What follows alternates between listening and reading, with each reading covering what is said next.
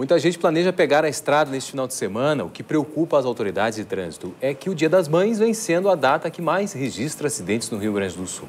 E tentando mudar estes números, inicia na meia-noite desta sexta-feira a 59ª Operação Viagem Segura. Na estação rodoviária, 100 horários extras foram colocados à disposição para o final de semana do Dia das Mães. No início da manhã, o movimento ainda era normal, mas quem já estava embarcando tinha destino certo.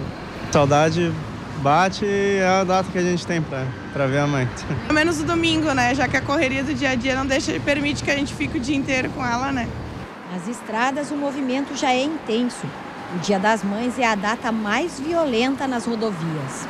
A análise estatística de 2007 a 2015 mostra que o final de semana do Dia das Mães tem uma média de 8,9 mortes por dia.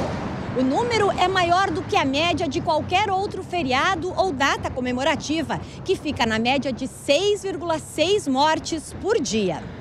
E no final de semana do Dia das Mães do ano passado, o número foi ainda maior: 9,3 mortes por dia. 28 pessoas perderam a vida nas estradas gaúchas.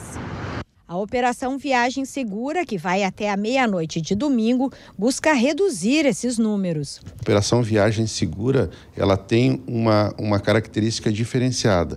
Todos os órgãos que compõem esta operação em nível federal, estadual e municipal redobram os seus esforços no sentido de exercer uma fiscalização mais intensa, principalmente no domingo, pela domingo o dia todo. A estatística da operação mostra que a maioria dos acidentes com mortes acontecem no turno da noite.